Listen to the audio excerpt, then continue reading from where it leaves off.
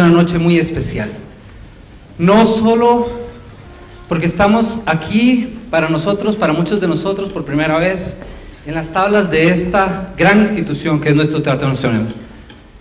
Para nosotros es una noche muy especial porque en esta orquesta tenemos gente que viene realmente de todos los rincones del país.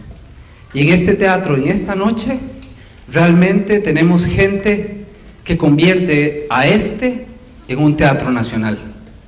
Tenemos gente de Cóbano, gente de Aguasarcas, gente de Platanar, gente de la zona norte, de la zona sur, del este, del oeste, del Valle Central, de las comunidades de Romuser, de las comunidades de León 13.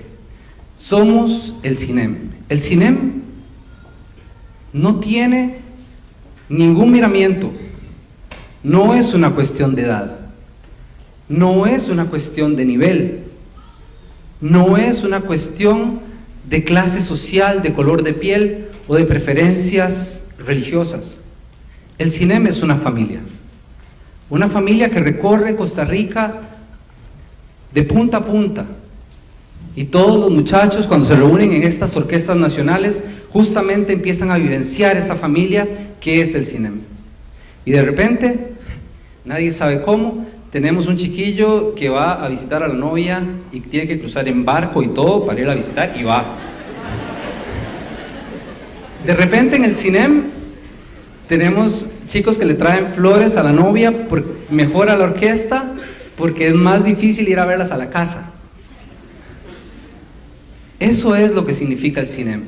El cinem es una red de jóvenes músicos que con todas las limitaciones que ustedes pueden imaginar y que sé que muy bien ustedes conocen, porque son sus hijos y son sus familias las que están aquí representadas, estos jóvenes nos enseñan cuál es la tesón, cuál es la entereza que se necesita para formar una patria.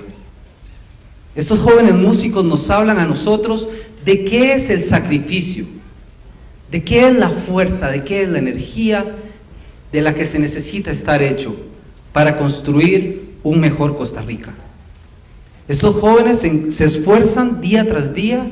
Conozco muchachos que cogen café para pagar sus matrículas. Conozco padres de familia que vuelan pala todo el día para que su hijo estudie clarinete.